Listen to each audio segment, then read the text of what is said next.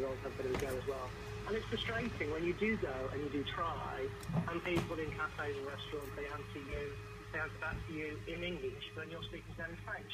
Now, I appreciate we're in kind of tourist places in the south of France and that kind of thing, but not, you know, staying in a, a family homestay in some rural little, you know, gîte in the middle of, uh, of a tiny French village.